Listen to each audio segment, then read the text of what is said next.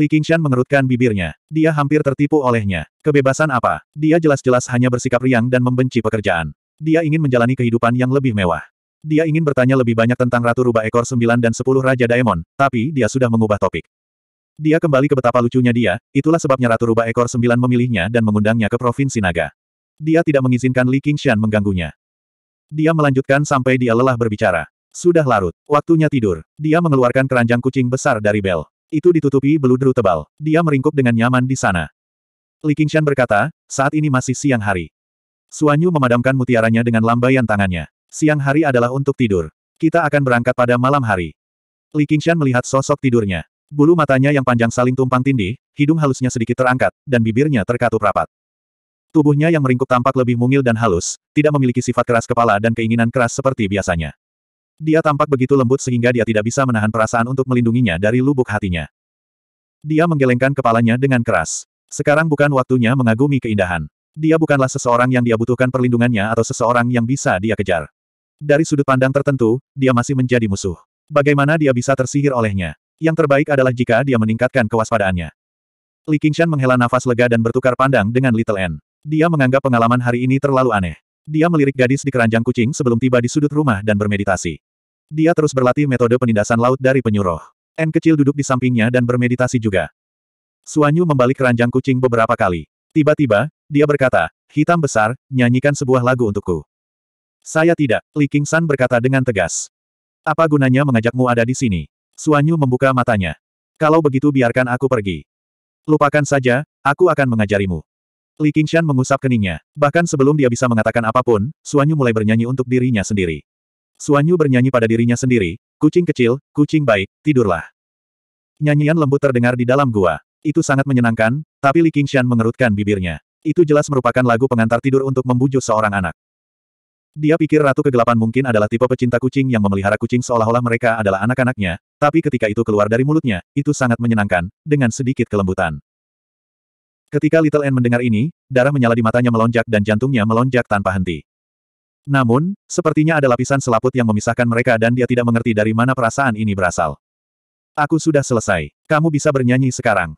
Saya tidak mengingatnya. Nyanyikan lagi. Li Qingshan berkata dalam hatinya, saya adalah pria setinggi sepuluh kaki yang bermartabat, saya menempuh jalan kekerasan, bagaimana saya bisa menyanyikan lagu seperti ini? Kamu bahkan tidak dapat mengingat sesuatu yang sesederhana itu. Li Qingshan berkata, saya Dasmon Desa. Saya bodoh dan bodoh, jadi tentu saja saya tidak tahu apa-apa. Saya tidak dapat mengingat apa pun. Hasilnya, Suanyu menyanyikannya lagi dengan sabar, tetapi hasilnya tetap sama. Li Qingshan masih tidak dapat mengingatnya. Suanyu ingin kehilangan kesabaran, tetapi dia berubah pikiran dan memegang pil di antara jari-jarinya. Dia tersenyum. Jika kamu bernyanyi, kamu akan mendapat pil untuk dimakan. Kucing kecil, kucing baik, tidurlah. Li Qingshan segera mulai bernyanyi sekuat tenaga. Mengapa dia tidak bernyanyi jika ada manfaatnya? Dia hanya menjual keahliannya, bukan tubuhnya. Pemimpin besar itu pernah mengatakan bahwa rakyat pekerjalah yang paling mulia. Namun, suaranya dalam dan serak, seperti dengungan logam. Ditambah dengan aumannya yang kuat, lagu pengantar tidur dengan paksa diberi perasaan rock and roll olehnya. Berhenti bernyanyi. Kamu berisik sekali. Suanyu melemparkan pil itu ke mulut Li Qingshan.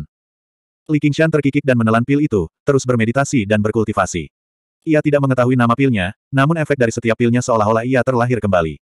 Dampaknya luar biasa kuat. Bagi orang biasa, atau bahkan para kultivator, pil ini mungkin adalah harta karun yang sangat sulit diperoleh. Sekarang dia hanya perlu berteriak beberapa kali, itu adalah kesempatan yang dikirimkan dari surga.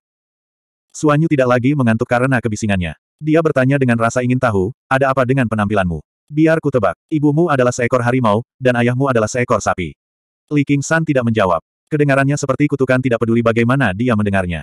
Namun, ketika dia mengira dia juga seekor binatang, dia hanya bisa menahannya. Bagaimana kalau ayahmu seekor harimau, dan ibumu adalah seekor sapi? Li Qingshan dengan enggan menjawab dengan, iya. Suanyu berkata, aku sudah mengetahuinya. Pantas saja kamu bisa berubah meski begitu lemah. Orang tuamu adalah Dasmon, dan bukan orang yang lemah. Benar, ke mana mereka pergi? Li Qingshan berkata dengan tenang, mati. Dia memikirkan orang tuanya dalam kehidupan ini. Suanyu terdiam. Saya minta maaf. Lalu dia berkata, aku juga. Li Qingshan menoleh dengan heran. Suanyu berkata, tidurlah. Dia memunggungi dia dan tidak berkata apa-apa lagi. Li Qingshan menghela nafas dengan lembut. Tiba-tiba, dia bernyanyi dengan lembut, kucing kecil, kucing baik, tidurlah. Telinga Suanyu bergerak-gerak, dan N kecil juga mendengarkan dengan tenang. Untuk sesaat, tidak ada suara lain di dalam gua. 50 kilometer jauhnya, seorang lelaki tua dengan pedang di punggungnya turun dari langit, mendarat di Gunung Gerbang Naga. Dia melihat bangunan yang runtuh dan mengerutkan kening. Rambutnya yang putih keabu-abuan diikat menjadi sanggul, dan dia memiliki sedikit janggut yang dipangkas dengan cermat. Matanya bersinar terang, tapi tertutup dan tidak bersinar terang. Dia sebenarnya mirip dengan pendekar pedang naga melonjak yang disembah. Namun, dia bukan lagi pendekar pedang Jianghu yang berada dalam kesulitan. Sebaliknya, dia adalah penatua naga melonjak dari istana koleksi pedang. Dia memejamkan mata dan merasakan, dan kerutan di keningnya semakin dalam. Pedang doa picut yang ditinggalkannya ternyata gagal membunuh musuh. Pedang doa picut adalah teknik rahasia istana koleksi pedang. Untuk itu pedang kayu persik harus disembah siang dan malam, tanpa istirahat satu hari pun. Seiring waktu, hal itu akan mengumpulkan kemauan dan kekuatan keyakinan yang sangat besar. Setelah digunakan, kekuatannya tidak dapat dihentikan. Penatua Naga melonjak memutuskan untuk mengesampingkan masalah ini untuk saat ini. Sekte Gerbang Naga hanyalah koneksi yang dia tinggalkan ketika dia menjelajahi dunia sekuler di masa lalu. Dalam sekejap mata, satu abad telah berlalu, jadi dia tidak terlalu mempedulikannya. Dia akan mengurus bisnisnya terlebih dahulu sebelum menemukan orang itu dan membunuhnya dalam satu pukulan. Tepat ketika dia hendak bergerak, matanya tiba-tiba menyipit. Menatap tajam, dia melihat sosok putih turun dari atas. Gu Yanying tersenyum. Penatua naga melonjak, sudah lama tidak bertemu. Namun, dia tidak tersenyum sama sekali. Istana koleksi pedang sebenarnya telah mengirim seorang tetua inti emas. Itu sungguh merepotkan. Kedua selir dari Provinsi Hijau, Ratu Kegelapan dan Ratu Ming, seperti musuh bebuyutan, sedangkan Ratu Ming berasal dari istana koleksi pedang. Dia tidak akan pernah membiarkan pihak lain bersenang-senang selama dia memiliki kesempatan sekecil apa pun. Tetua Soaring Dragon berkata, jadi, dia adalah polisi terkenal Gu. Mengapa kamu datang ke tempat terpencil seperti ini? Dia juga berhati-hati di dalam. Di antara para komandan White Hawk di Provinsi Green, dialah yang paling sulit dihadapi, dan dia selalu dekat dengan wanita terkutuk itu, Ratu Kegelapan. Dia kebetulan memiliki latar belakang yang kuat, jadi dia tidak bisa berselisih dengannya dengan mudah.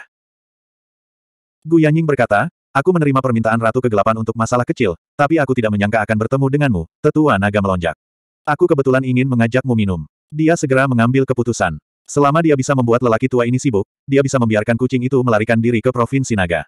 Selama bertahun-tahun, kucing itu telah menyebabkan banyak masalah baginya. Dia benar-benar tidak ingin melihatnya lagi. 92. Saya tidak punya waktu luang seperti itu. Setelah Anda, Komandan Gu, Penatua Naga melonjak hendak melepaskan pedangnya. Dengan cepat, Gu Yanying memblokir jalannya lagi. Senyumannya sudah hilang. Tetua Soaring Dragon, kamu sudah sangat tua, jadi mengapa kamu harus menyentuh seekor kucing? Setelah Ratu Kegelapan kehilangan anaknya, dia sepenuhnya bergantung pada kucing itu untuk menghibur dirinya sendiri. Apakah istana koleksi pedang benar-benar ingin membayar upahnya? Perang melawan Sekte Umbral Yin. Istana koleksi pedang kami selalu mengikuti prinsip membersihkan iblis dan melindungi orang benar. Daemon dan monster adalah orang-orang yang berhak membunuh mereka. Kata tetua naga melonjak dengan tegas. Dia ingin membunuh Dasmon kucing kali ini dan menghancurkan kemauan wanita malang itu. Dan, Dasmon kucing itu seharusnya membawa sejumlah besar pil atau bahkan artefak misterius di tubuhnya. Itu adalah kekayaan yang sangat besar, jadi dia tidak mau menyia-nyiakannya begitu saja. Sebelum dia berangkat, dia telah melakukan ramalan dengan tetua peramal. Ramalan tersebut menunjukkan bahwa perjalanan ini pasti akan berhasil, dan dia akan mampu mengakhiri keluhannya sepanjang perjalanan. Dia pada dasarnya yakin akan kemenangan. Pada akhirnya, penguasa provinsi akan melangkah maju untuk menengahi, dan Sekte Umbral Yin mungkin belum tentu memiliki tekad untuk berperang melawan istana koleksi pedang. Mengapa dua sekte manusia memulai perang demi Dasmon kucing? Ekspresi Gu Yanying berubah. Cahaya kemasan melintas di matanya, dan dia mencibir. Jika istana koleksi pedang begitu mengesankan, mengapa mereka tidak membunuh seekor naga di lautan tinta dan membunuh Raja Daemon terhebat di Provinsi Hijau? Yang mereka lakukan hanyalah menindas yang lemah dan takut pada yang kuat. Tetua Soaring Dragon berkata, Tuan istana kita punya rencananya sendiri untuk ini. Bahkan sebelum dia selesai berbicara, dia telah bergabung dengan pedangnya dan berubah menjadi seberkas cahaya, melesat ke udara dengan kecepatan kilat.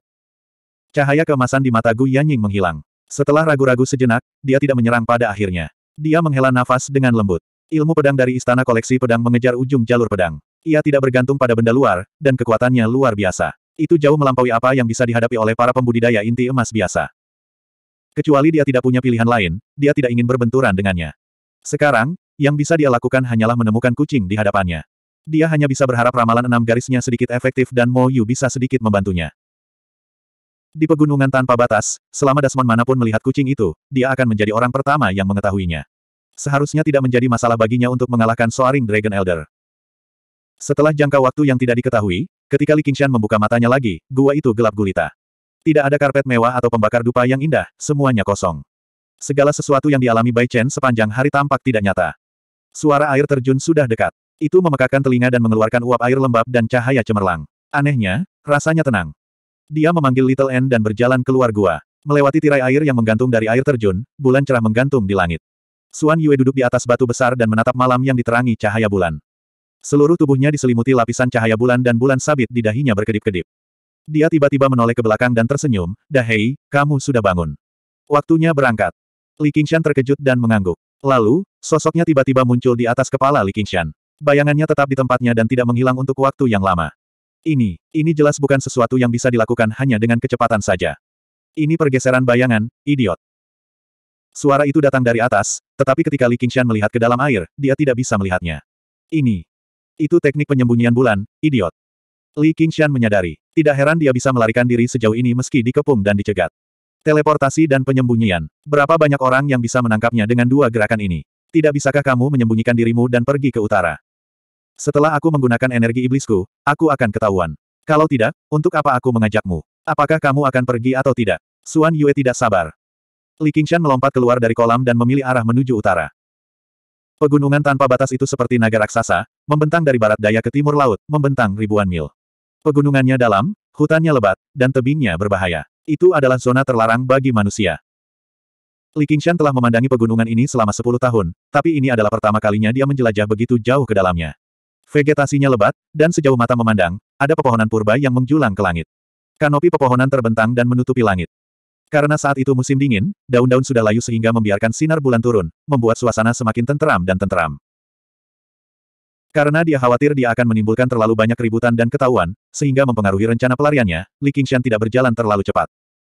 Namun, setelah transformasinya, setiap langkah yang diambilnya dengan mudah menempuh jarak beberapa zang, sehingga dia tidak terlihat lambat. Meskipun dia adalah seorang yang tertutup dalam kehidupan sebelumnya, dia sering mendambakan kehidupan sebagai seorang backpacker. Dalam kehidupan ini, dia akhirnya mewujudkan mimpinya, meski cara dia mewujudkannya agak aneh. Ia mengagumi pemandangan pegunungan di sepanjang perjalanan dan tidak merasa bosan. Namun, dia tidak bosan, tetapi Suan Yue sangat bosan. Dia terus bergumam, terlalu mengeong, terlalu mengeong. Dia melompat dari atas kepalanya ke bahu kirinya, lalu dari kiri ke kanan. Dia berkumpul bersama Little N, menggoda Little N. N kecil tidak menyukai perilakunya dan juga berlarian di atas tubuh Li Qingshan. Meskipun keduanya sangat ringan, Li Qingshan merasa seolah-olah ada dua monyet di tubuhnya. Setelah beberapa saat, dia tidak tahan lagi. Harap tenang. Kamu berani berbicara seperti itu pada guru. Suan Yue dengan keras memukul kepala Li Qingshan. Li Qingshan berteriak. Tiba-tiba, dia lepas landas dengan liar, menyerbu ke depan dengan momentum yang mengejutkan. Dasar hitam bodoh, lupakan saja, lupakan saja. Aku tidak akan mengganggumu lagi. Suan Yue menepuk kepala Li Qingshan dan terkikik. Tawanya yang seperti lonceng terdengar di seluruh hutan. Ketika dia bosan, Suan Yue akan mencari ke seluruh tubuh Li Qingshan. Segera, dia menemukan kaligrafi pedang kursif yang disembunyikan Li Qingshan di rambut tebal berwarna merah tua itu. Sebelum Li Qingshan bisa menghentikannya, atau lebih tepatnya, tidak ada gunanya menghentikannya. Dia membuka gulungan itu, dan cahaya spiritual muncul. Suan Yue juga terkejut dengan aura pedang dan niat pedang yang dipancarkannya. Dia menepuk dadanya dan membalik kaligrafi pedang kursif di tangannya. Itu persis sama seperti saat Li Qingshan pertama kali mendapatkannya. Dia juga memiliki ekspresi buta huruf. Kamu masih memiliki sesuatu seperti ini. Ini adalah artefak spiritual yang hanya bisa digunakan oleh manusia, bukan? Menurutku kamu sungguh luar biasa. Li Qingshan berkata, ini milikku. Apa milikmu adalah milikku. Juga, siapa yang peduli dengan barangmu yang rusak ini? Guru ini telah melihat artefak sihir dan harta karun yang tak terhitung jumlahnya. Itu hanya artefak spiritual. Suan Yue melemparkan tangannya kembali ke Li Qingshan. Kemudian, dia bermain dengan tablet kayu belalang. Tepi tablet sudah terbakar, dan tampilannya tidak terlalu mengesankan. Apa ini? Tidak ada ki spiritual sama sekali. Pengerjaannya juga sangat buruk. Nan-an, apa maksudnya ini? Kapan? Li Qingshan menyentuh pinggangnya, dan benar saja, pinggangnya kosong. Bahkan sebelum dia bisa berkata apa-apa, Xiao An mengulurkan tangannya untuk mengambil tablet kayu itu. Bagaimana Suan Yu bisa membiarkannya berhasil? Dia menghindarinya dengan goyangan lembut, tapi Xiao An menolak menyerah. Suan Yu menghindari beberapa serangan Xiao An dalam sekejap mata. Kamu tidak perlu terlalu khawatir tentang artefak spiritual. Katakan padaku untuk apa ini, dan aku akan mengembalikannya padamu. Li Qingshan menghentikan N kecil. Ini adalah sebuah janji. Janji apa? Meskipun Li Qingshan tidak mau mengatakannya, dia tahu bahwa dia penasaran. Dia tidak akan menyerah sampai dia mencapai tujuannya. Saya berjanji akan mengirimnya pulang. Rumahnya di selatan. Suan Yue tercengang. Aku tidak menyangka kamu memperlakukan hewan peliharaanmu dengan baik. Dia bukan peliharaanku. 93. Apa yang sedang kamu lakukan? Tanduk Li Qingshan lebih keras dari baja. Sekarang setelah diukir, dia merasakan tulangnya gemetar dan gatal. Jangan bergerak, kata Suan Yu. Li Qingshan bergerak dengan sekuat tenaga. Dia bahkan mengulurkan tangan untuk meraih kepalanya, tapi dia sangat lincah dan tidak membiarkan Li Qingshan menangkapnya. Setelah beberapa saat, dia berkata, selesai. Dia kemudian mengeluarkan cermin perunggu dan menunjukkannya pada Li Qingshan. Li Qingshan melihat kata-kata, bulan utara, terukir di tanduknya, satu di kiri dan satu lagi di kanan. Aku akan mengecatnya sedikit lagi agar lebih jelas. Itu janjiku. Suanyu terkekeh. Kamu bisa mati. Li Qingshan menjadi sangat marah. Ketika langit akan cerah, mereka menemukan gua alami untuk beristirahat. Wajah Li Qingshan menjadi dingin. Dia mengulurkan tangannya, pil roh. Suanyu tersenyum, bersikaplah baik, jangan marah. Ayo, buka mulutmu. Dia memegang pil roh, tidak mau meletakkannya di telapak tangan Li Qingshan. Mata mereka bertemu. Setelah beberapa saat, Li Qingshan membuka mulutnya dan menggigit tangannya. Giginya yang putih seperti pisau tajam. Belum lagi pergelangan tangannya yang ramping, dia bahkan bisa menggigit rangka baja. Suanyu menarik tangannya dan Li Qingshan hanya memakan pil roh. Dia kemudian menyentuh kepala Li Qingshan, kamu sangat galak. Li Qingshan memakan pil roh dan pergi bermeditasi, terus berkultivasi. Ketika dia tidak sedang berkultivasi, dia memegang cermin dan menyentuh dua kata di tanduknya.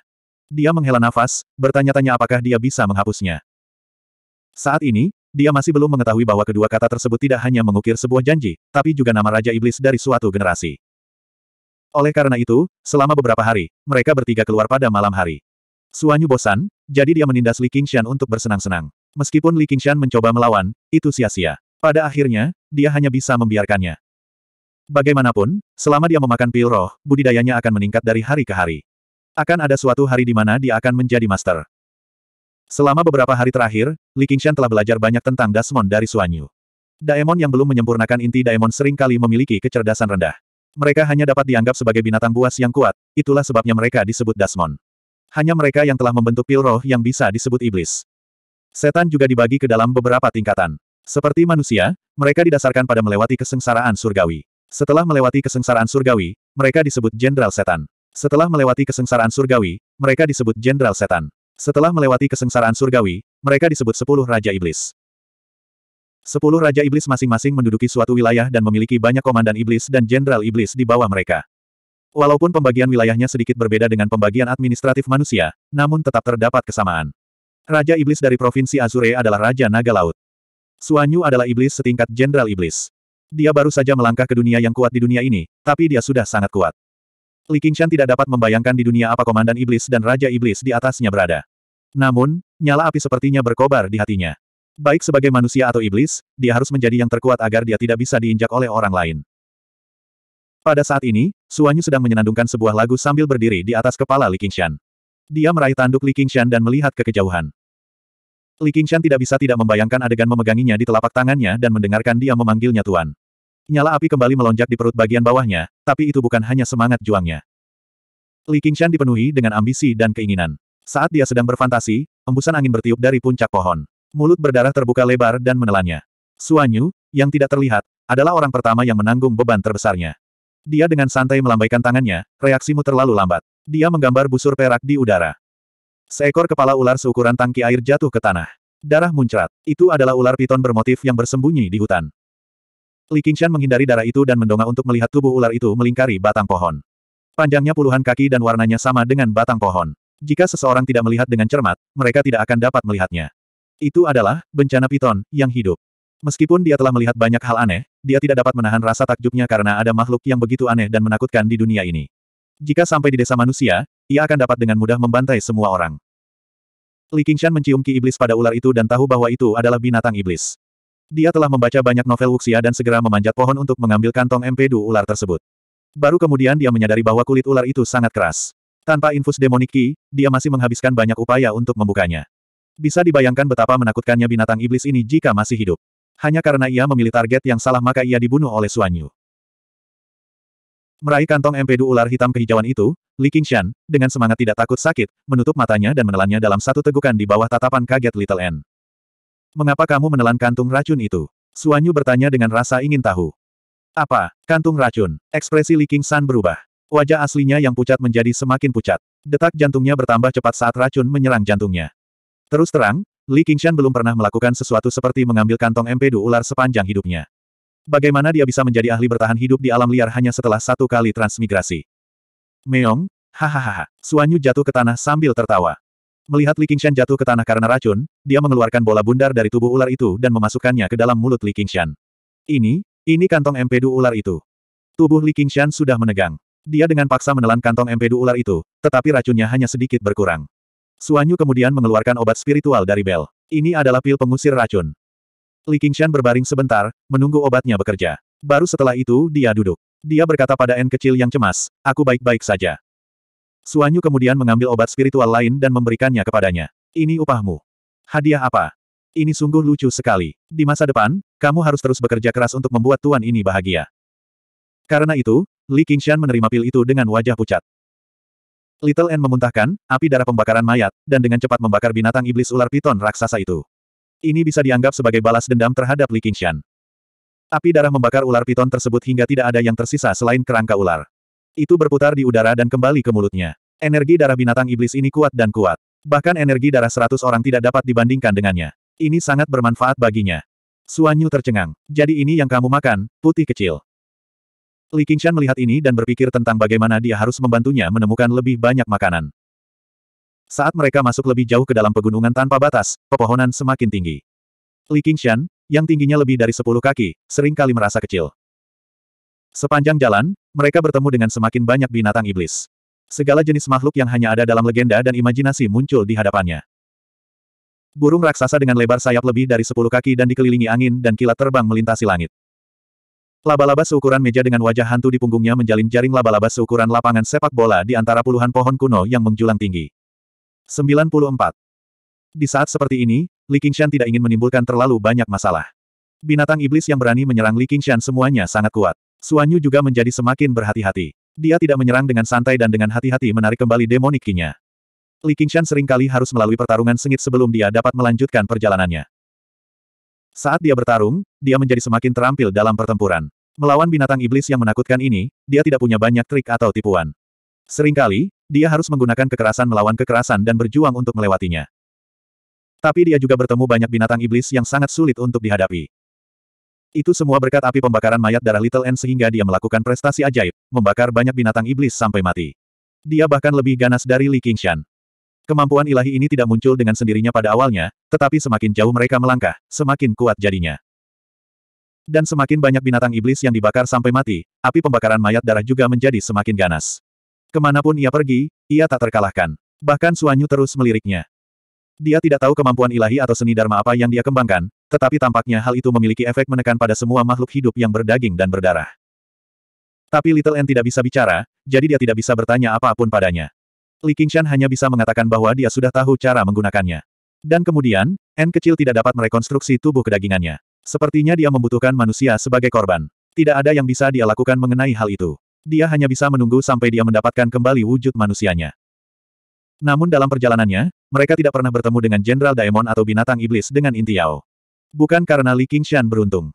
Seringkali, saat Li Qingshan berjalan ke depan, Suanyu tiba-tiba memberi perintah untuk berhenti atau berbalik.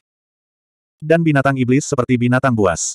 Mereka juga memiliki tempat berburu sendiri yang tidak dapat dideteksi oleh orang biasa.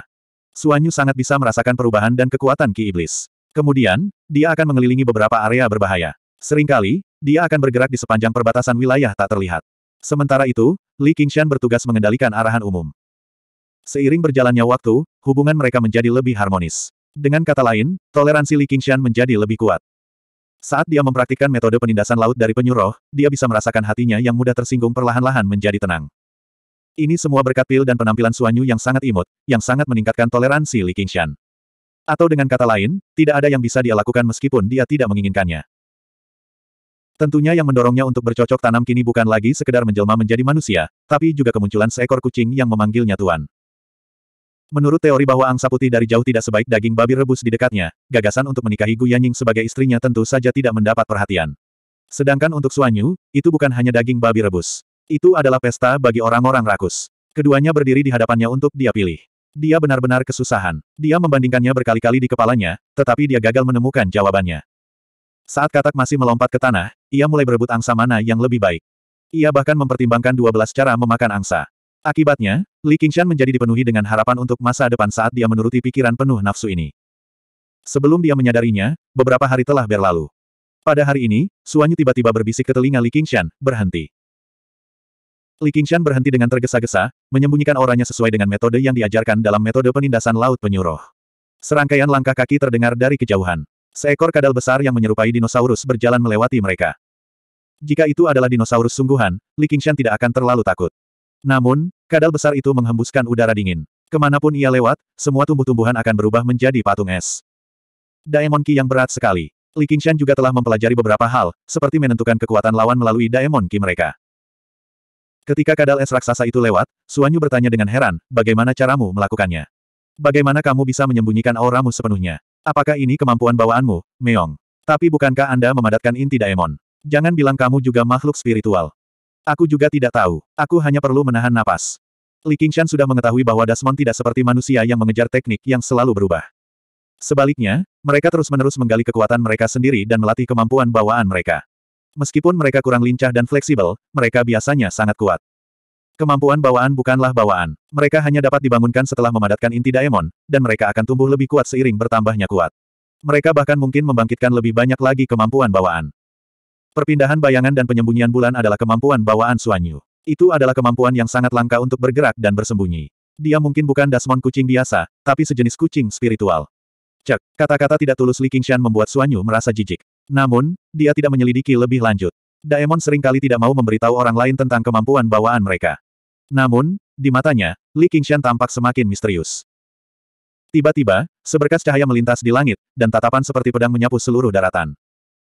Mata Li Qingshan tajam, dan dia melihat sekilas sosok di sorotan cahaya. Penatua naga melonjak juga melihat Li Qingshan di tanah. Jenderal Daemon, tapi aura Daemonmu terlalu lemah. Masih jarang melihat Dasmon humanoid. Apa itu? Dia juga melihat N kecil di samping Li Qingshan. Li Qingshan bertemu dengan tatapan seperti pedang, dan hatinya dipenuhi ketakutan. Seolah-olah ada pedang ilahi yang tergantung di atas kepalanya, dan akan memenggal kepalanya pada saat berikutnya. Ini adalah pedang abadi. Meskipun dia telah melihat sosok Anggun Gu Yanying, dia masih terkejut ketika melihat pedang abadi yang legendaris. Siapa yang tidak bermimpi terbang melintasi langit dengan pedang? Setelah itu, dia tiba-tiba teringat identitas dan penampilannya saat ini. Dia adalah seorang Dasmon. Jika pedang abadi turun dari langit, bagaimana dia harus menghadapinya? Hanya ketika seberkas cahaya melewatinya tanpa henti, Li Qingshan menghela nafas lega. Penatua Naga melonjak secara pribadi percaya bahwa dia memiliki urusan penting yang harus diselesaikan, jadi dia tidak akan menyia-nyiakan upaya apa pun pada Daemon lemah seperti dia. Adapun Suanyu, dia bahkan menahan nafasnya sekarang. Baru kemudian dia berkata, oh tidak, itu seseorang dari istana koleksi pedang. Untungnya, penyembunyian bulanku sangat kuat, atau aku akan tamat. Tentu saja, itu semua berkat kucingmu itu. Aku akan menghadiahimu pil nanti. Dia mengusap kepala Li Qingshan. Jika dia sedang terburu-buru, dia pasti sudah ketahuan. Istana koleksi pedang apa? Orang itu datang untukmu. Li Qingshan merasakan pertanda buruk. Misi ini jauh lebih berbahaya daripada yang dia bayangkan. Suanyu juga tidak menyembunyikan apa pun. Dia secara kasar menjelaskan konflik antara Ratu Kegelapan dan Ratu Cerah, yang membuat ekspresi Li Qingshan semakin jelek. Bahkan memegang pil itu membuatnya merasa panas membara. Itu adalah tokoh penting yang terkenal di seluruh provinsi hijau. Seseorang yang tidak penting seperti dia sebenarnya tidak akan mampu bertahan bahkan jika dia memiliki beberapa nyawa jika dia diseret ke dalam pusaran seperti itu. Suanyu menyemangatinya. Jangan terlalu khawatir. Selama kita melarikan diri ke Provinsi Naga, bajingan tua itu tidak akan cukup berani untuk mengejar kita tidak peduli betapa beraninya dia. Langit dan melompati lautan. Mewah hahaha. Li Qingshan tidak seoptimis dia, tapi dia sudah diambang kematian. Tidak peduli betapa berbahayanya jalan di depannya, dia hanya bisa bertaruh. 95. Saya belum pernah menjadi manusia, jadi apa itu hati nurani? Bisakah saya memakannya? Hehe, kamu akhirnya mengakui bahwa aku adalah tuanmu. Suanyu tersenyum lebar dan terbatuk lembut. Selama kamu berteriak agar Tuan menyelamatkanku, aku pasti akan datang dan melindungimu. Li Qingshan berkata, aku lebih baik mati. Suanyu berkata, jika kamu begitu tidak sopan, kamu akan ditinggalkan oleh Tuan. Li Qingshan berkata, tolong tinggalkan aku secepat mungkin. Ketika mereka berdebat, mereka berangkat sekali lagi. Namun, seolah-olah ada bayangan yang menyelimuti hatinya, Li Qingshan menjadi lebih berhati-hati dengan gerakan selanjutnya. Dia melakukan yang terbaik untuk melakukan perjalanan melalui hutan lebat dan pegunungan. Jika dia menemukan binatang daemonik, dia akan menghindarinya sebisa mungkin. Dia tidak akan terjebak dalam pertempuran. Saat kultivasinya semakin dalam, metodenya menyembunyikan auranya menjadi semakin baik. Binatang daemonik dengan indera sensitif sering berjalan melewatinya, tetapi mereka tidak dapat mendeteksinya sama sekali. Suanyu mengagumi dirinya sendiri karena membuat pilihan yang tepat. Dia, memberi makan, pil yang diminumnya kepada Li Qingshan tanpa menahannya. Namun, ini mungkin karena dia terbiasa bersikap boros. Terlebih lagi, Li Qingshan merasa seperti dia mencoba menggemukkannya agar dia bisa digunakan sebagai pelindung daging. Akhirnya, mereka melakukan perjalanan dengan damai selama beberapa hari lagi. Suanyu berkata, kami tidak jauh lagi dari Provinsi Naga. Ketika hari tiba, mereka bertiga beristirahat di sebuah gua alam. Namun, itu bukanlah gua yang tertutup. Sebaliknya, tempat itu gelap dan dalam tanpa henti. Angin dingin bertiup dari dalam, entah ke mana. Suanyu beristirahat di keranjang kucing, sementara Li Qingshan dan Little N berkultivasi di samping. Suara gemerisik terdengar dari bawah tanah, semakin padat dan dekat. Li Qingshan membuka matanya, tetapi dia melihat Suanyu sudah berdiri. Dia menajamkan telinganya, jelas telah mendengar suaranya juga. Ada Dasmon Qi. Dalam kegelapan, mata yang tak terhitung jumlahnya bersinar. Mereka padat, dan bahkan ada retakan yang tak terhitung jumlahnya, cukup untuk membuat orang menggigil dari lubuk hati mereka. Ada monster daemon yang muncul dari bawah tanah, dan jumlahnya lebih dari satu. Li Qingshan sudah terbiasa dengan kehidupan seperti ini. Dia dan Little N berjaga-jaga, sementara Suanyu dengan sadar menyembunyikan dirinya. Tikus-tikus itu keluar dari dalam gua seperti air pasang. Meskipun Li Qingshan terbiasa melihat semua jenis binatang iblis, dia masih mengerutkan kening saat melihat pemandangan ini. Namun, ini hanyalah permulaan. Tikus-tikus yang keluar dari gua semakin membesar. Yang kecil seukuran anjing, dan yang besar seukuran beruang. Gua itu langsung tenggelam oleh lautan tikus. Dari atas sampai bawah penuh dengan berbagai jenis tikus. Semuanya menatap Li Qingshan. Suara gemeretak gigi menyatu dan bergema di dalam gua, membuat orang panik. Li Qingshan tidak menunjukkan rasa takut. Musuh mereka ada di sini. Kemudian, dia merasakan Suan Yue di tubuhnya sedikit gemetar. Dia merendahkan suaranya dan mengejek, kamu sebenarnya takut pada tikus. Terlalu, terlalu menjijikkan. Tempat seperti apa yang kamu pilih? Beraninya kamu. Cepat bunuh dia, Meong. Suanyu belum pernah melihat hal seperti itu di istana pengawas prefektur. Li Qingshan berkata dengan nada jahat, bukankah ini makanan favoritmu? Anda bisa menggunakannya untuk makan malam. Cepat makan. Balas dendam adalah mata ganti mata. Mengenai tempatnya, dia mungkin tidak punya pilihan. Roh tikus ini jauh lebih kuat dari tikus biasa. Mereka mungkin telah membuka seluruh area menjadi lubang tikus. Tidak peduli di mana dia memilih untuk tinggal, dia pasti akan berakhir di depan pintu rumah mereka. Aku akan memakanmu dulu. Sebelum Li Qingshan menyelesaikan kalimatnya, dia merasakan sakit di telinganya. Suanyu telah menggigit telinganya. Namun, selain rasa sakit yang menusuk dari giginya, dia juga bisa merasakan hangatnya bibir dan ujung lidahnya. Dia sebenarnya menikmatinya. Aku tidak punya hobi seperti itu. Li King San menggelengkan kepalanya. N kecil, nyalakan apinya.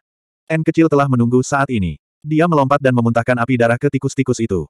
Tikus-tikus itu mencicit. Tikus biasa yang lemah segera menjadi abu. Daging dan darah mereka mengipasi api, sementara tikus yang lebih besar dipenuhi nafsu. Mereka menerjang Li Qingshan dan menggigitnya. Kekuatan hidup mereka yang luar biasa terlihat jelas. Namun, semakin kuat vitalitasnya, semakin kuat pula api pembakaran darahnya. Dengan roh tikus yang tak terhitung jumlahnya sebagai bahan bakarnya, api pembakaran darah membubung ke udara dan membentuk ular api di dalam gua. Ia membuka mulutnya dan menggigit tikus yang lebih besar. N kecil menjadi semakin mahir dalam menggunakan mantra Dharma. Dia praktis belajar secara otodidak. Melihat musuh alami mereka muncul, roh tikus yang ketakutan itu lari dengan panik. Li Qingshan masih ketakutan. Itu semua berkat mantra Dharma Little N yang kuat. Kalau tidak, dia akan dirugikan jika dikalahkan oleh begitu banyak tikus. Terutama gigi baja dari roh tikus itu. Mereka jelas bukan vegetarian. Bahkan jika dia menang, dia akan merasa jijik sampai mati. Hati-hati, Suanyu telah melepaskan telinga Li Qingshan dan berbisik. Li Qingshan hanya merasakan angin hangat memasuki telinganya. Sebelum dia bisa menikmati rasanya, dia juga merasakan aura iblis yang kuat datang dari dalam gua. Aduh! Cahaya kuning keluar, menembus ular api dan mengenai Little N, membuatnya terbang. N kecil. Li Qingshan buru-buru menangkap N kecil. Dia melihat retakan muncul di tubuhnya. Kita harus tahu bahwa sejak dia mulai berkultivasi, tubuhnya menjadi lebih keras dari baja. Sudah jelas betapa mengerikannya kekuatan serangan ini. Lampu kuning itu seperti makhluk hidup. Ia berbalik ke udara dan menembak ke arah Li Qingshan. Itu sangat cepat sehingga tidak ada yang bisa bereaksi tepat waktu. Suanyu membuat gerakan meraih dan menangkap lampu kuning di tangannya. Membuka telapak tangannya, dia melihat manik kuning berputar. Yao Inti.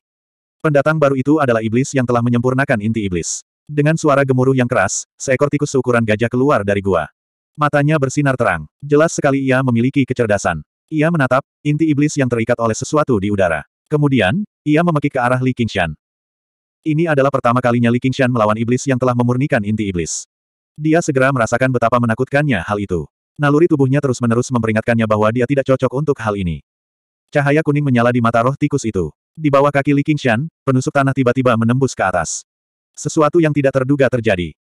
Penusuk bumi sangat cepat sehingga Li Qingshan tidak dapat bereaksi tepat waktu. Suanyu membawa Li Qingshan dan terbang ke udara. Penusuk bumi menusuk sepuluh kaki ke dalam tanah sebelum akhirnya kehilangan momentumnya. Ketika Li Qingshan melihat ke bawah, dia sudah berkeringat dingin. N kecil mengirimkan api darah ke arah roh tikus itu lagi, tetapi api itu terhalang oleh cahaya kuning. Dia tidak dapat maju lebih jauh. Roh tikus itu memekik. Di udara, inti iblis bergetar lebih hebat lagi. Ia sedang terburu-buru untuk menariknya. Ambil. Suanyu dengan santai melemparkan inti iblis ke Li Qingshan. Li Qingshan segera menangkapnya. Dia tidak pernah mengira inti iblis begitu kuat. Bahkan ketika dia menggunakan seluruh kekuatannya, itu hampir jatuh dari tangannya. Teknik roh tikus sudah sangat ganas dan ganas. Jika dia menarik inti iblisnya, dia tidak akan punya tempat untuk berdiri. Penyuruh menekan lautan, menekan roh jahat. Li Qingshan tiba-tiba mulai mengedarkan Daemon Ki-nya dengan liar, dengan kuat menekan inti iblis di tangannya.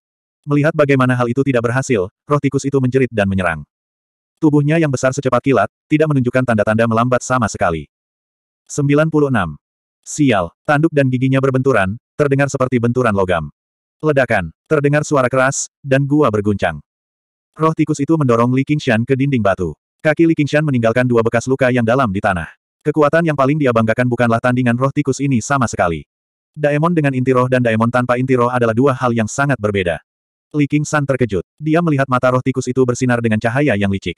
Penusuk bumi lainnya menembus Li King Shan yang tidak bisa bergerak dari dinding batu di belakangnya. N kecil memegang pedangnya dengan kedua tangan dan memotong leher roh tikus itu. Ekor tikus yang panjang menghanyutkannya seperti cambuk baja. Suanyu menyerang lagi. Empat cahaya tajam keluar dari cakarnya, dan mata roh tikus itu dipenuhi ketakutan. Cahaya tajam itu dengan mudah merobek lapisan pelindung ki iblis milik roh tikus. Roh tikus yang tak terhentikan itu terpotong menjadi beberapa bagian, mati di tempat. Tidak peduli seberapa kuat kelihatannya, Daemon tingkat Jenderal Daemon tidak dapat menahan satu pukulan pun dari Suanyu, yang telah mengalami satu kesengsaraan surgawi. Li Qingshan menendang mayat roh tikus itu. Inti roh di tangannya tidak lagi berdetak. Dia menyentuh punggungnya dan melihat tonjolan di dinding batu. Jika dia lebih lambat, dia akan terluka parah bahkan jika dia tidak mati. Terlalu bodoh. Suanyu mengevaluasi. Jika bukan karena kamu, apakah aku akan datang ke tempat ini? Li Qingshan telah berkultivasi kurang dari setengah tahun, sedangkan umur Dasmon tikus setidaknya lebih dari satu abad. Dengan perbedaan kekuatan yang begitu besar, bagaimana bisa begitu mudah bagi yang lemah mengalahkan yang kuat? Suanyu hendak berbicara ketika dia tiba-tiba merasakan sesuatu. Ekspresinya berubah. Cepat, ayo pergi. Kita harus pindah tempat. Meskipun Li Qingshan tidak merasakan apa pun, melihat betapa seriusnya dia, dia segera berbalik dan pergi bersama Little N. Gua Karas bergetar, dan pintu masuk gua yang semula lebarnya beberapa puluh kaki tiba-tiba bergetar. Seolah-olah hal itu menjadi hidup. Ia berkontraksi dan menggigit, menutup gua sepenuhnya. Bahkan tidak ada seberkas cahaya pun yang masuk. Suanyu berbisik, tarik ki iblismu. Kemudian, dia menjadi tidak terlihat lagi. Li Qingshan menarik ki iblisnya dan mendengarkan dengan penuh perhatian. Suara lain datang dari dalam gua. Seekor tikus besar merangkak keluar dan berdiri dengan dua kaki. Dia bahkan tidak melihat ke arah Li Qingshan. Sebaliknya, dia berteriak sekuat tenaga dengan nada yang aneh, Raja Tikus telah tiba. Li Qingshan tercengang. Dia tidak hanya terkejut karena tikus itu bisa berbicara, tetapi juga terkejut karena sekelompok monster bisa begitu sombong. Kemudian, enam belas ekor tikus yang berdiri dengan dua kaki berjalan keluar dari dalam gua sambil membawa singgasana di bahu mereka. Di tandu itu duduk seorang pria gemuk dengan mahkota emas di kepalanya. Dia tampak seperti seorang raja. Dia memiliki wajah bermata licik, memperlihatkan gigi tikus yang panjang dan menyeret ekor tikus di belakangnya. Di belakangnya ada dua ekor tikus betina yang tampak seperti pelayan. Dia mengangkat dua kipas besar. Suanyu berseri-seri saat melihat ini, tetapi Li Qingshan tidak bisa tersenyum. Dia sudah mengambil wujud manusia, jadi setidaknya dia adalah Jenderal Daemon. Dan roh tikus yang membawa tandu memancarkan ki iblis yang bahkan lebih kuat dari roh tikus besar. Raja tikus berkata dengan malas, siapa yang melanggar gunung tikus hitamku dan membunuh jenderal besarku, Wai Tefang. Dia benar-benar mengabaikan Li Qingshan yang berdiri setinggi lebih dari 3 meter di depannya. Jika bukan karena suaranya yang terlalu melengking, jika bukan karena suaranya yang terlalu melengking, dia benar-benar memiliki sikap seorang raja. Tikus yang tampak seperti seorang kasim berteriak, Raja, ini orangnya. Semua tikus serempak berkata, Raja yang bijaksana. Baru pada saat itulah Raja Tikus bertingkah seolah dia baru saja melihat Li Qingshan. Dia mengamatinya dari atas ke bawah. Daemon macam apa kamu? Dia melihat bagaimana Li Qingshan mengambil bentuk manusia dan menjadi ketakutan. Biasanya, hanya Jenderal Daemon yang selamat dari kesengsaraan surgawi yang dapat melakukan ini. Namun, dia tidak bisa merasakan ki iblis apa pun dari Li Qingshan, jadi dia mau tidak mau harus lebih berhati-hati. Tubuh roh tikus yang hancur berkeping-keping di tanah seakan menjadi bukti. Li Qingshan sangat memperhatikan perubahan ekspresi Raja Tikus dan tiba-tiba mengerti mengapa Suanyu memintanya untuk menahan ki iblisnya. Dia tidak bisa tidak mengagumi pikiran tajamnya. Dia berkata dengan berani, saya adalah iblis tua Gunung Hitam. Anda, Jenderal White Fang, terlalu ceroboh. Anda berani menyelinap ke arah saya dan telah dibunuh oleh saya. Sekarang kamu menghalangi jalanku, apakah kamu juga akan bertarung sampai mati denganku? Saat dia berbicara, dia mengambil langkah maju. Dia tidak bisa tidak mengatakannya. Tubuh iblis Li Qingshan sangat perkasa. Tanduknya seperti tombak dan cakarnya seperti pisau. Raja Tikus mundur. Dia memenuhi reputasinya sebagai penakut seperti tikus. Jika Li Qingshan adalah monster biasa, dia pasti akan menerkam dan memakannya. Namun, Li Qingshan dicurigai sebagai Jenderal Daemon, jadi dia segera mundur. Dia tidak punya niat membalas dendam pada bawahannya. Itu salah paham, salah paham. Bolehkah saya tahu Daemon General tempat Anda bekerja? Li Qingshan tidak menyangka hierarki di dunia Daemon begitu ketat. Dia masih harus mengikuti Big Brother. Suanyu dengan lembut membisikkan sebuah nama ke telinga Li Qingshan. Li Qingshan segera berkata, saya bekerja untuk Tuan Moyu. Dia secara khusus mengirim saya ke gunung tanpa batas untuk menangani beberapa masalah. Raja Tikus dipenuhi dengan rasa hormat yang mendalam. Dia bahkan melompat turun dari singgasananya. Jadi kamu berasal dari Laut Tinta. Kamu adalah utusan Tuan Moyu. Mungkinkah karena setan kucing itu? Li Qingshan tertegun, tapi dia mengangguk ke permukaan. Iya. Raja Tikus berkata, bukankah aku sudah memberitahumu? Selama kita melihatnya, kita pasti akan menangkap setan kucing itu. Kami tidak akan mengecewakan Tuan Moyu. Dia berpikir dalam hati, tidak heran dia mengirim orang ini ke sini. Dia bisa menyembunyikan ki iblisnya dengan sangat baik. Dia memang cocok untuk dilacak. Sudut mata Li Qingshan bergerak-gerak. Tidak heran Suanyu sangat berhati-hati jauh di dalam pegunungan, menjaga kondisi penyembunyian bulan setiap saat. Ternyata bukan hanya manusia, bahkan setan pun mencarinya. Dia benar-benar tidak memiliki pijakan di kawasan hijau. Bahaya dari misi ini jauh melampaui apa yang dia bayangkan di awal. Jika dia mengungkapkan dirinya sekarang dan terlibat dalam pertempuran yang kacau, bahkan jika dia bisa menang, itu akan membuat semua iblis di gunung tanpa batas khawatir. Mereka berkumpul untuk menangkapnya, menyebabkan pelarian mereka gagal total. Li Qingshan menjadi lebih berhati-hati. Dia dengan ceroboh berkata, itu benar-benar seperti banjir yang melanda kuil Raja Naga. Tapi kamu adalah tikus, dan dia adalah kucing. Apakah kamu tidak takut dimakan? Tangan Suanyu mencubit punggung Li Qingshan dengan kuat. Kenapa aku harus makan makanan kotor seperti itu? Raja Tikus berkata kepada Kasim Tikus yang bertugas menyampaikan pesan tersebut. Katakan padaku, apa nama panggilan raja ini? Si Kasim Tikus berkata, kucing makan tikus. Tikus-tikus itu kemudian berkata, raja yang bijaksana. Suanyu mengertakkan gigi karena kebencian. Tangannya mencubit punggung Li Qingshan. Raja Tikus tertawa bangga. Melihat wajah Li Qingshan berkedut, dia bertanya, ada apa? Li Qingshan mengertakkan gigi dan berkata, bukan apa-apa. Tetap waspada, aku masih punya urusan penting yang harus diselesaikan, jadi aku pamit dulu. Dengan lambaian tangan Raja Tikus, gua itu kembali ke keadaan semula. Sinar matahari bersinar masuk. Li Qingshan berbalik dan pergi. Raja Tikus mengelus kumis tikus di bawah hidungnya. Aku terus merasa ada sesuatu yang tidak beres. Ini adalah Gunung Tikus Hitam. Seharusnya aku adalah iblis tua dari Gunung Hitam. Tikus-tikus itu berkata, Raja yang bijaksana.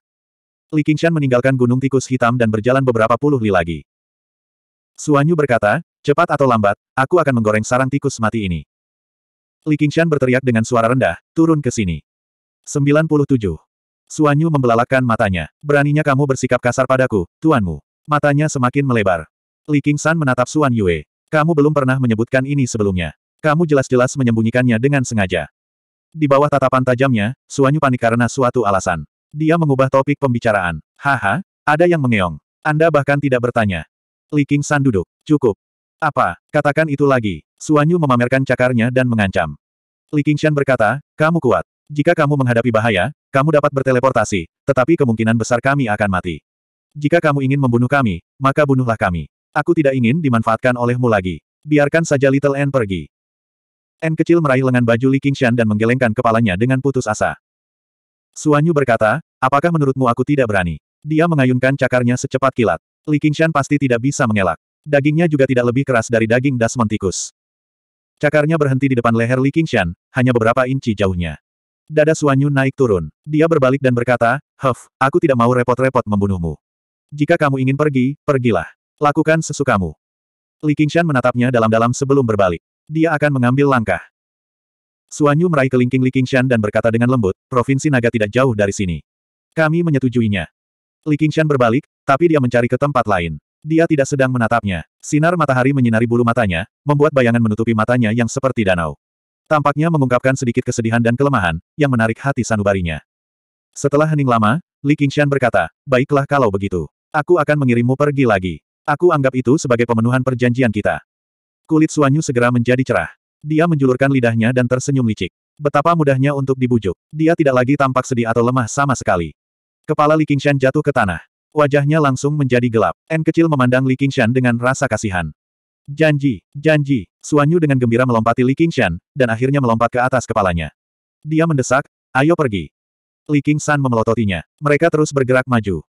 Sudah lama sekali dia tidak berjalan di bawah terik matahari. Matahari musim dingin terasa hangat dan hangat. Tanpa disadari, waktu yang lama telah berlalu, dan dia telah sepenuhnya beradaptasi dengan tubuh iblis ini. Suanyu berkata, jangan merasa malu. Tidak ada yang memalukan jika kalah dalam jurus pamungkasku. Langkah terakhir. Suanyu berkata, sebenarnya, aku sudah lama ingin pergi, tapi saat Ratu Kegelapan menunjukkan ekspresi seperti itu, aku tidak bisa berbuat apa-apa. Li Qingshan berkata, tetapi pada akhirnya, kamu tetap pergi. Suanyu berkata dengan bangga, itu karena aku lebih kejam. Li Qingshan berkata, ini bukanlah sesuatu yang bisa dibanggakan. Jika Anda kejam terhadap orang lain, orang lain juga akan kejam terhadap Anda. Apakah itu mengeong? Di Gunung Tikus Hitam, Raja Tikus terbaring di tanah, membenamkan kepalanya sepenuhnya ke dalam tanah. Semua suara kecil dalam jarak 5 km, atau bahkan 50 km, mencapai telinganya melalui tanah. Percakapan Li Qingshan dan Suanyu jelas tidak luput dari telinganya. Kemampuan bawaan Daemon. Kebanyakan dari mereka fokus pada menyerang dan bertahan, tapi dia mengetahui teknik, mendengarkan bumi, yang sangat langka, yang cocok dengan sifatnya yang berhati-hati dan pengecut. Dia tiba-tiba menarik kepalanya keluar. Wajahnya pucat, dia berkata, seperti yang diharapkan, ada sesuatu yang salah. Tikus-tikus itu berkata, Raja yang bijaksana. Hentikan omong kosong itu, kejar. Telinga Suanyu tiba-tiba terangkat, sial, mereka datang, ayo pergi. Li Qingshan lepas landas dengan kakinya dan bergegas ke depan dengan liar. Dengan setiap langkahnya, dia akan meninggalkan jejak yang dalam. Dengan langkah selanjutnya, dia akan menempuh perjalanan beberapa puluh meter. Terlalu lambat. Suanyu masih menganggapnya terlalu lambat. Li Qingshan berkata, coba gendong aku sambil berlari. Suanyu mengeluarkan ramuan roh dan melemparkannya ke mulut Li Qingshan, lalu mengeluarkan jimat. Warna jimat itu bukan kuning biasa, melainkan merah tua. Ramuan roh larut, dan aura cahaya muncul. Li Qingshan merasakan tubuhnya menjadi lebih ringan setengahnya. Jimat itu hancur, dan hembusan angin menyelimuti tubuh Li Qingshan, membuatnya merasa tidak berbobot. Li Qingshan mengambil satu langkah, dan tubuhnya terangkat ke langit. Langit berwarna biru mempesona, dan hutan kuno yang tinggi berada di bawah kakinya. Lengkungan pegunungan yang bergelombang di kejauhan tampak seperti hendak terbang.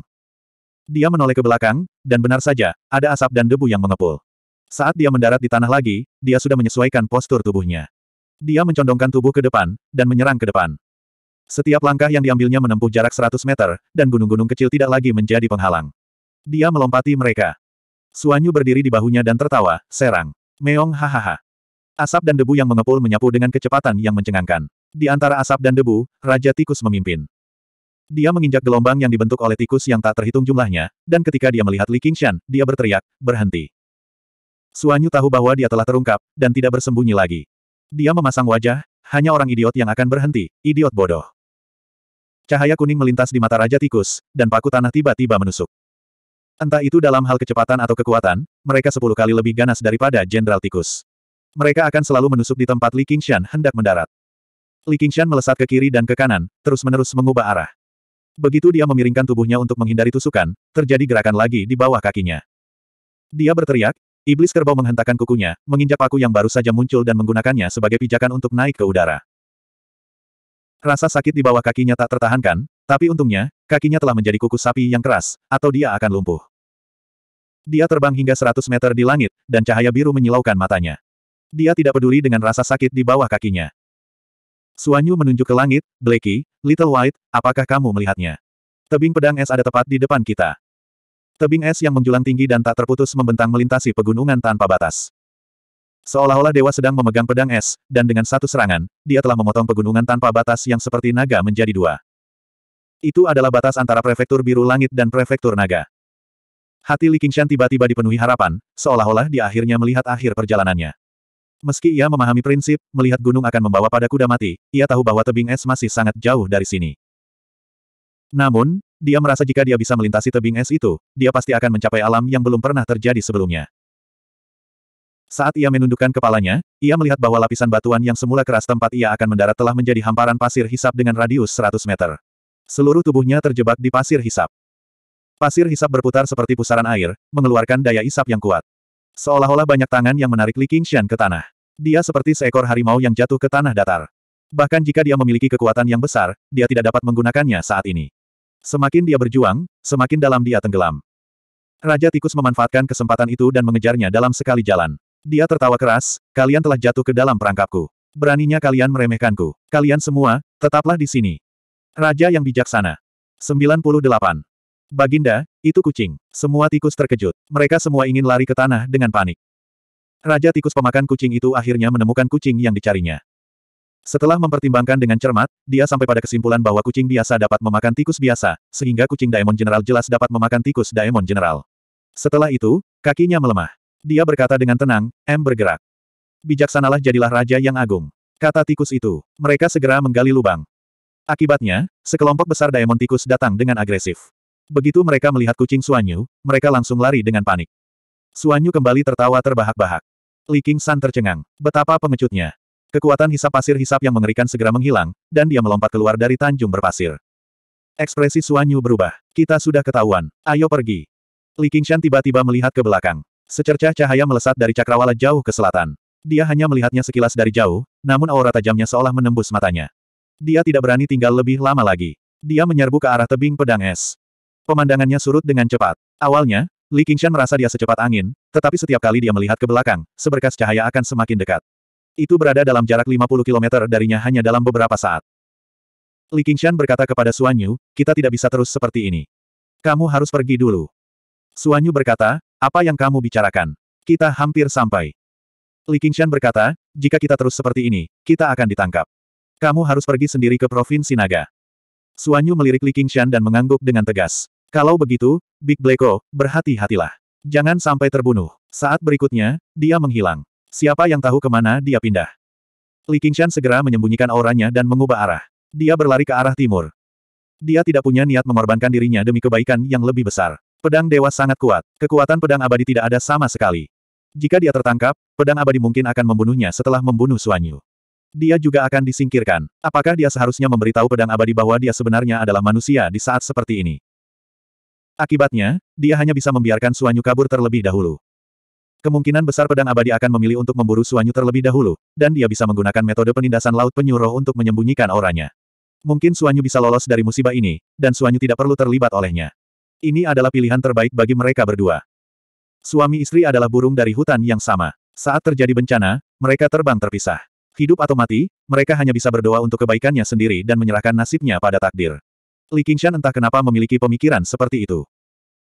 Penatua Naga melonjak awalnya sedang berpatroli di langit ketika dia tiba-tiba disiagakan oleh gangguan di Gunung Tikus Hitam. Namun, di dalam gunung tanpa batas tak terbatas. Bukan hal yang aneh bagi binatang iblis untuk saling membunuh. Dia tidak terlalu mempedulikannya. Jenderal Daemon, aura iblis yang kuat yang hanya bisa dimunculkan oleh Jenderal Daemon. Baru saat itulah dia menyadarinya, dan dia memfokuskan indranya. Sesaat kemudian, aura iblis yang lebih kuat naik ke langit. Dia segera bereaksi dan mengejarnya dengan pedangnya.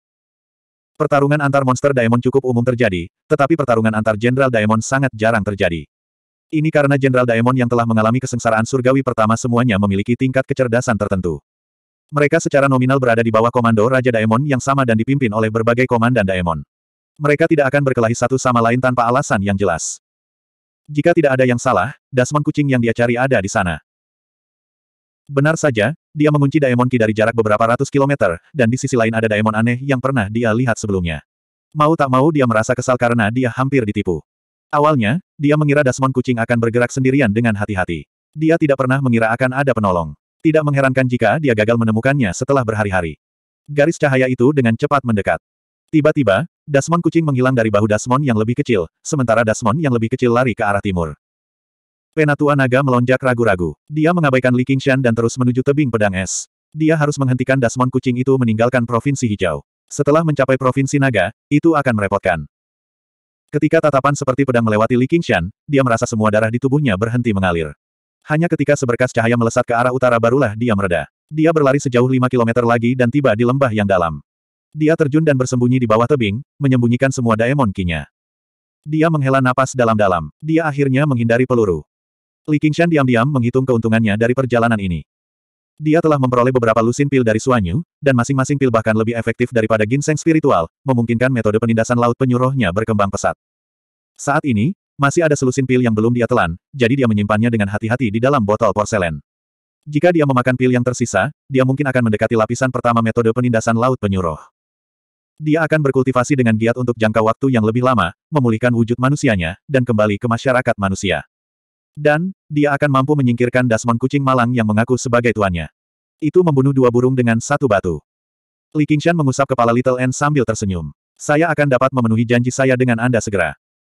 Li Qingshan tidak bergerak sama sekali, membiarkan waktu berlalu dengan lambat. Tiba-tiba, dia merasakan tanah berguncang, tetapi tanah itu lenyap dengan sangat cepat. Lalu, ia berguncang lagi. Langit perlahan menjadi gelap. Awan gelap kembali memenuhi langit, dan salju mulai turun dengan lebat. Diiringi desiran angin yang menyelimuti sekeliling. Li Qingshan merasa lebih nyaman. Dalam cuaca seperti itu, semakin mustahil menemukannya. Akan lebih mudah bagi Suanyu untuk melarikan diri juga. Ketika dia memikirkannya, dia sebenarnya merasa agak enggan berpisah dengannya. Namun, dia pasti sudah sampai di Provinsi Naga. Dia akan segera bisa menjalani kehidupan bebas yang dia inginkan. Semoga saja kita ditakdirkan untuk bertemu lagi. Teknik pedang segudang. Di tengah badai salju, suara gemuruh terdengar seperti guntur, menghancurkan badai salju dan mengganggu pikirannya. Niat membunuh tanpa batas menyelimuti dirinya. Oh tidak, Li Qingshan melompat sambil menggendong Little N. Ketika dia melihat kembali ke udara, dia melihat ribuan garis cahaya bersilangan di tengah badai salju. Mereka merobek tebing tempat dia bersembunyi, menyebabkan tebing itu runtuh dengan suara gemuruh. Li Qingshan jatuh ke sungai yang mengering. Saat dia mengangkat kepalanya, pedang sepanjang tiga kaki menunjuk tepat ke dahinya. Jaraknya hanya tiga inci. Penatua naga melonjak memegang pedangnya di tangan kanannya dan berdiri di atas batu. Dia menatap Li Qingshan dengan dingin. Bicaralah, ke mana Dasmon kucing itu lari? Kamu adalah pendekar pedang naga yang melonjak. Ketika Li Qingshan melihat kemunculan pedang abadi itu, dia langsung tercengang. Potret di aula leluhur Sekte Gerbang Naga muncul lagi di depan matanya. Sekte Gerbang Naga telah ada selama beberapa generasi. Usianya setidaknya satu abad, sedangkan pendekar pedang naga melonjak hanya tampak sedikit lebih tua dari potretnya. Jika dia mempertimbangkan fakta bahwa Sekte Gerbang Naga sengaja membuatnya lebih mudah untuk melindungi Yang Mulia, maka pada dasarnya tidak ada perubahan. Selain kata, abadi, tidak ada kata lain yang bisa menggambarkan dirinya. Namun, dia saat ini sedang diarahkan ke kepalanya oleh makhluk abadi yang menakutkan. 99. Kamu mengenaliku. Soaring Dragon Elder mampu membentuk inti emas, jadi pikirannya sangat tajam. Kaulah orang di balik insiden Sekte Gerbang Naga. Kata-kata Penatua Divining tentang memutuskan hubungan lama dengannya kebetulan merujuk pada hal ini. Li Qingshan mengutuk kesialannya. Ia merasa misteri surga tidak dapat diduga. Tampaknya ada sepasang tangan yang mengendalikan segalanya, karma, dan pembalasan.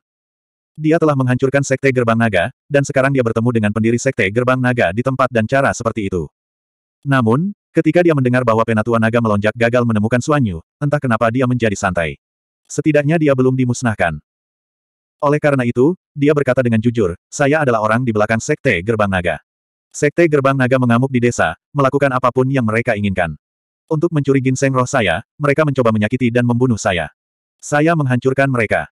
Dunia ini adil. Tetua Soaring Dragon sedikit terkejut.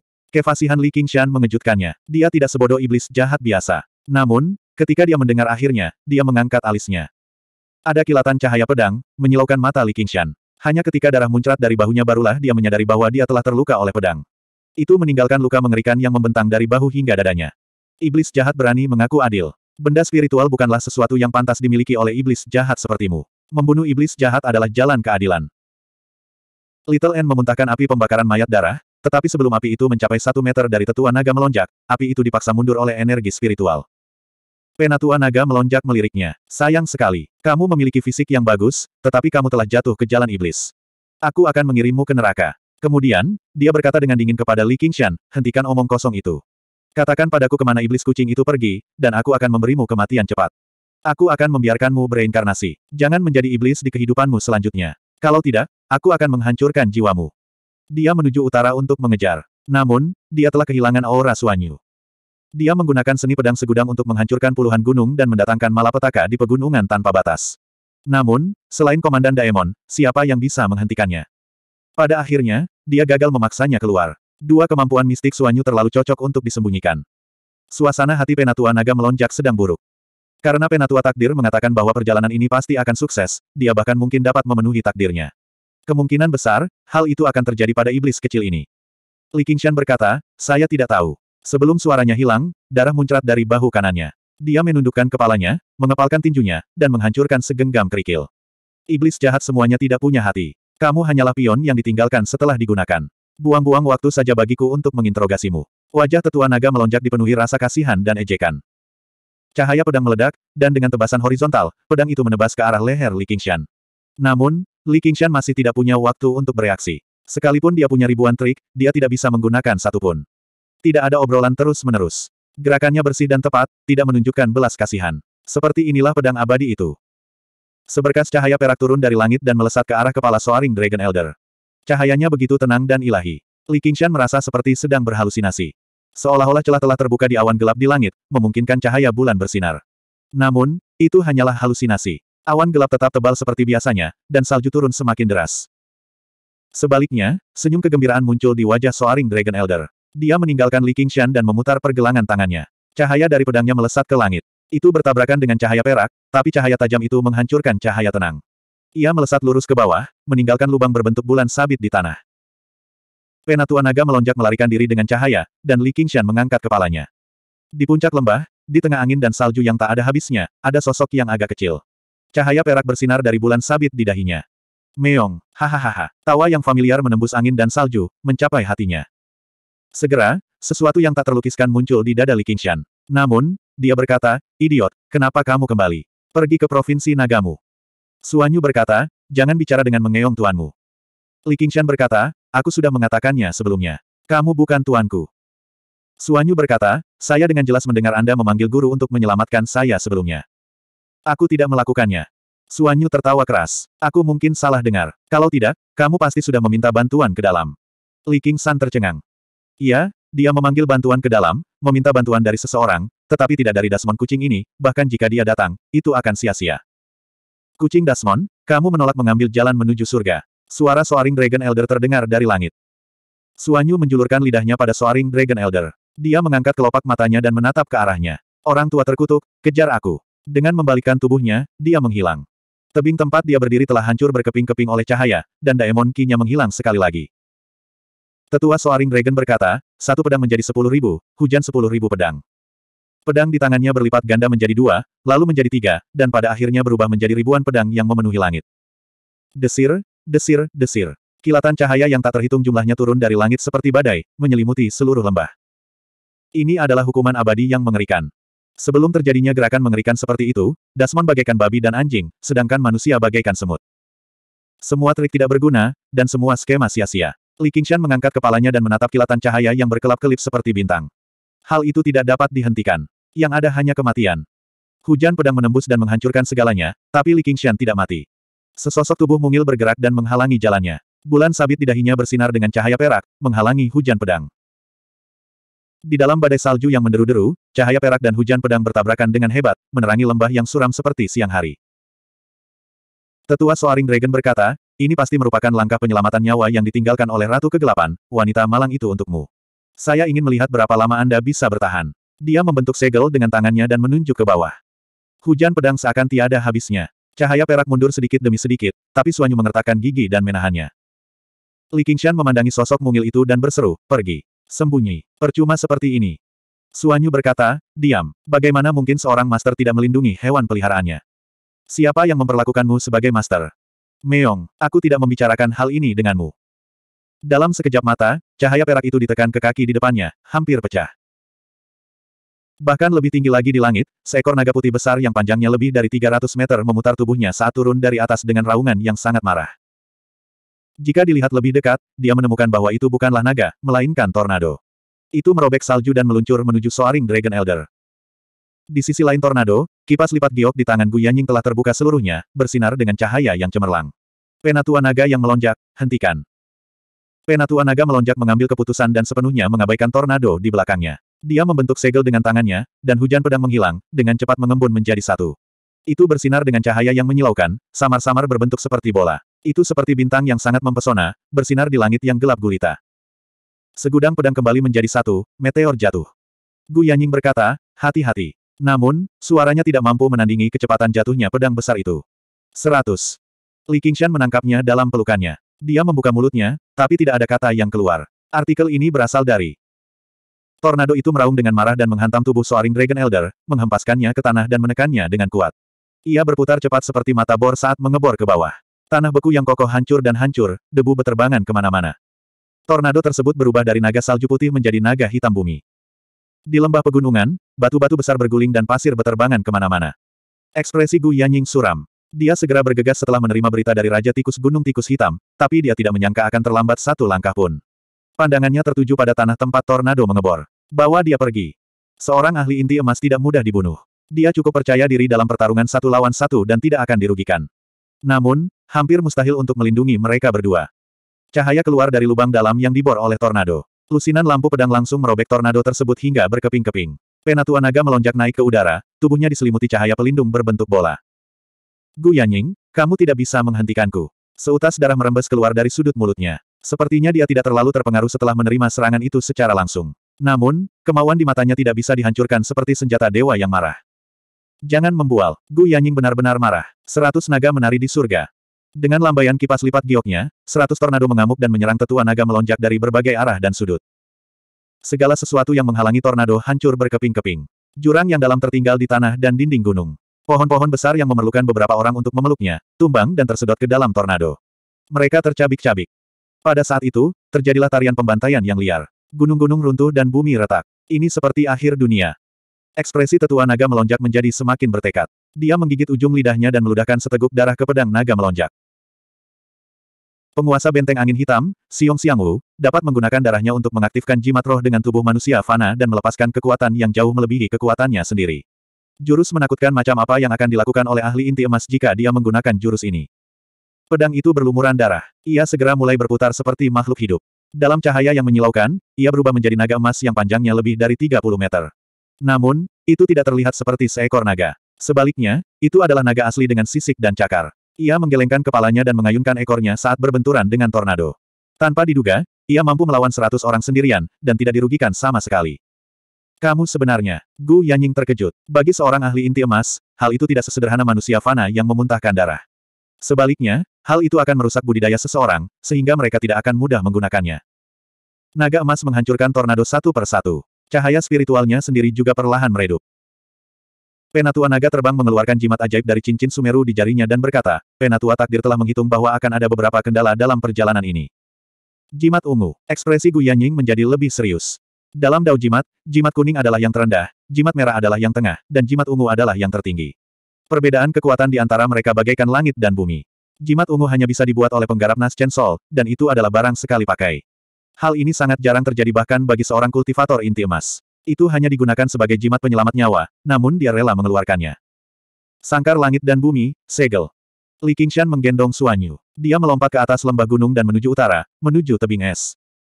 N kecil mengikuti dari belakang. Li Qingshan membentaknya, pergi, jangan ikuti aku.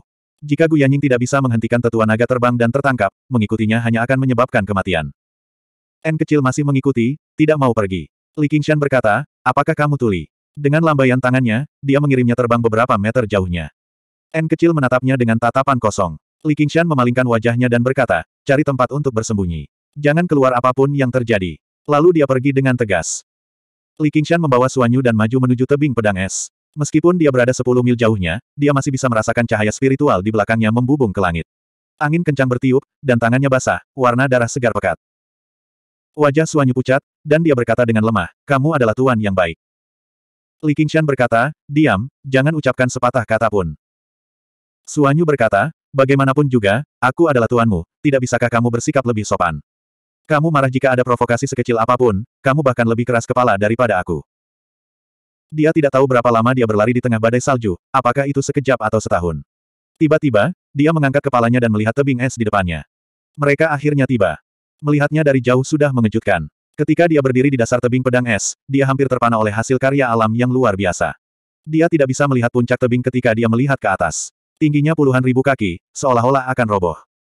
Li Qingshan mengertakkan gigi dan mengulurkan tangan untuk menyentuh tebing es. Rasa dingin meresap ke tulangnya. Cakar tajamnya yang mampu menembus logam dan batu giok hanya meninggalkan goresan samar di es. Itu jelas bukan es biasa. Suanyu membuka matanya dan berkata, kita akhirnya tiba. Legenda mengatakan bahwa tebing pedang es ini adalah pedang dewa yang dijatuhkan oleh dewa. Sejak kemunculannya, pedang itu tidak meleleh sama sekali. Sebaliknya, pedang itu terus membeku dan membesar. Titik. Sangat sulit untuk didaki, dan Anda sendiri tidak akan dapat mencapainya. Li Qingshan berkata, diam dan peluk aku. Dia menggendong Suanyu di punggungnya dan menyuruhnya melingkarkan lengannya di lehernya. Setelah itu, dia menjulurkan cakarnya dan mencengkeram tebing es. Tepat ketika dia ingin mengangkat kakinya, dia menemukan bahwa kakinya bukan lagi kaki manusia, melainkan sepasang kuku besi. Tebing es itu sekuat baja, lurus dan berkilau. Bahkan lebih sulit untuk didaki daripada tebing lainnya. Tanpa sepasang kaki, mustahil untuk mendaki. Meo wahaha. Suanyu tertawa tanpa perasaan, sama seperti dia dulu menindas Li Qingshan. Namun, tawanya menjadi semakin lemah, mudah tenggelam oleh angin dan salju. Berdebar. Li Qingshan meninju tebing es dengan keras dan berlutut di tanah. Dia datang ke sini setelah mengalami begitu banyak kesulitan, namun dia tidak dapat mengambil langkah maju. Tebing pedang es benar-benar seperti pedang besar, yang menghancurkan semua harapannya. Saya menolak untuk menerima ini. Metode penindasan laut penyuruh beredar dengan liar di tubuhnya. Ajaibnya, kakinya benar-benar pulih. Meskipun ukurannya jauh lebih besar dari kaki biasa dan kukunya tajam, sebenarnya itu adalah sepasang kaki, bukan kuku. Awalnya, dia hanya bisa memulihkan bentuk manusianya setelah mencapai lapisan pertama, tapi dia dengan paksa memulihkan kakinya dengan pemikiran di benaknya. Suanyu berkata dengan heran, sungguh mengesankan. Namun, Li Qingshan tidak bisa diganggu dengan kegembiraan. Dia melompat ke tebing es. Ayo pergi. Di tengah badai salju, Li Qingshan memanjat selangkah demi selangkah dengan Suanyu di punggungnya. Cakarnya menggali jauh ke dalam es. Rasa dingin terus-menerus meresap ke dalam kulitnya, membekukan tulangnya. Dia tidak bisa melihat langit, juga tidak bisa melihat tanah. Seolah-olah mereka berdua adalah satu-satunya orang yang tersisa di dunia, yang bekerja keras.